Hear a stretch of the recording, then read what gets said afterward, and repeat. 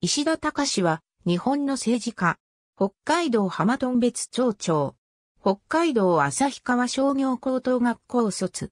北海道江差市郡浜頓別町出身戦時中は、徴兵により戦地に赴く。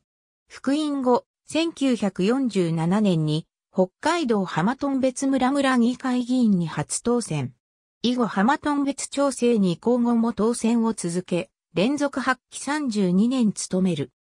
この間、1962年から1979年まで、浜頓別町議会議長や1962年から1980年まで、浜頓別町商工会長、1970年から1980年まで、北海道商工会連合会副会長を務めた。1980年3月に同町議を辞職し、浜頓別町長選に出馬し初当選。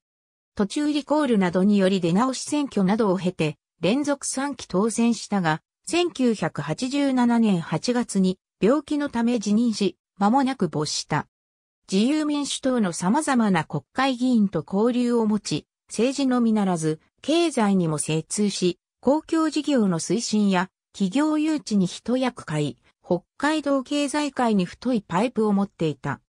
その他、土地柄革新勢力も強かったが日本社会党にも人脈を持っていたとされ、浜頓別の長老、道北の元老と称されていた。それだけに利益誘導型政治家として剛腕とも言われ、町長時代はリコール請求などもされた。